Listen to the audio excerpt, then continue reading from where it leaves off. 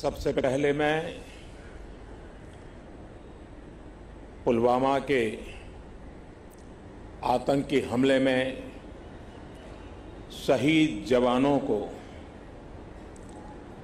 आदरपूर्वक श्रद्धांजलि अर्पित करता हूँ। उन्होंने देश की सेवा करते हुए अपने प्राण न्योछावर किए हैं। दुख की इस घड़ी में मेरी और हर भारतीय की संवेदनाएँ उनके परिवार के साथ है।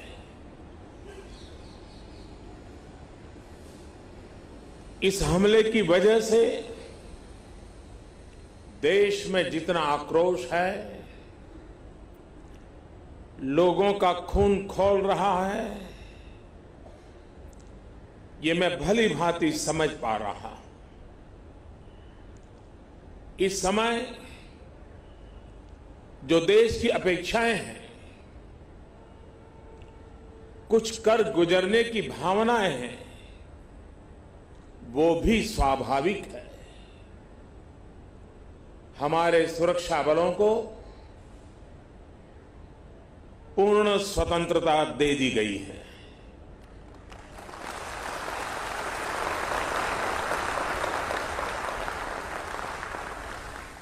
हमें अपने सैनिकों के शौर्य पर, उनकी बहादुरी पर पूरा भरोसा है। मुझे पूरा भरोसा है कि देशभक्ति के रंग में रंगे लोग, सही जानकारियाँ भी हमारी एजेंसियों तक पहुंचाएँगे। ताकि आतंक को कुचलने में हमारी लड़ाई और तेज हो सके। मैं आतंकी संगठनों को और उनके सरपरस्तों को कहना चाहता हूँ कि वे बहुत बड़ी गलती कर चुके हैं। बहुत बड़ी कीमत उनको चुकानी पड़ेगी।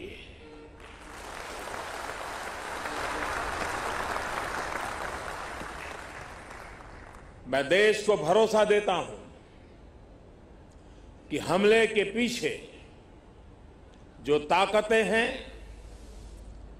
इस हमले के पी जो भी गुनेगार हैं, उन्हें उनके किए की सजा अवश्य मिलेगी।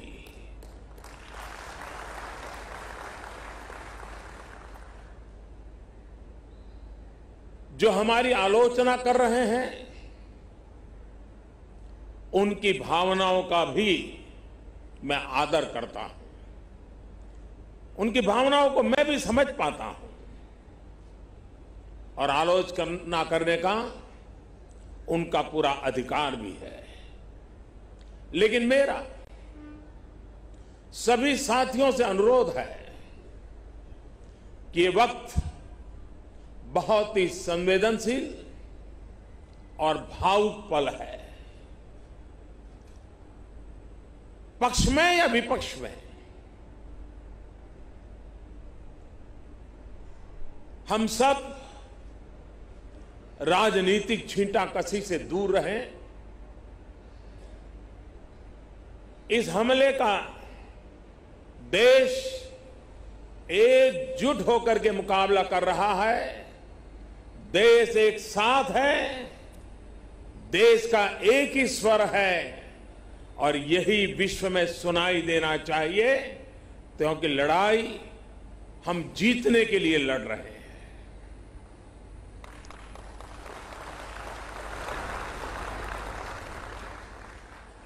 पूरे विश्व में अलग थलग पड़ चुका हमारा पड़ोसी देश। अगर ये समझता है कि जिस तरह के कृत्य वो कर रहा है, जिस तरह की साजिश रच रहा है, उससे भारत में अस्थिरता पैदा करने में सफल हो जाएगा तो वो ख्वाब हमेशा हमेशा के लिए छोड़ दे। वो कभी ये नहीं कर पाएगा और न कभी ये होने वाला है।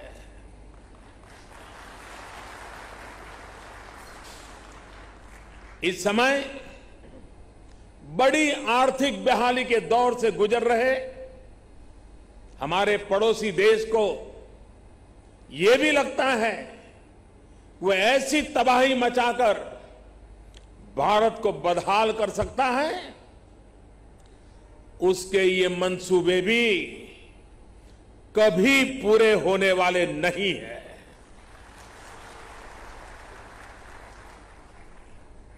वक्त ने सिद्ध कर दिया है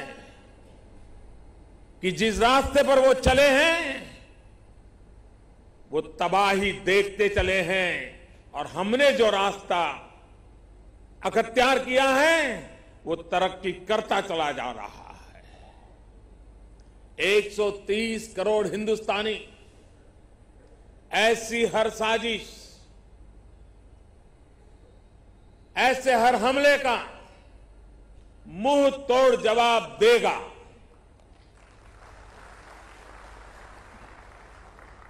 कई बड़ों देशों ने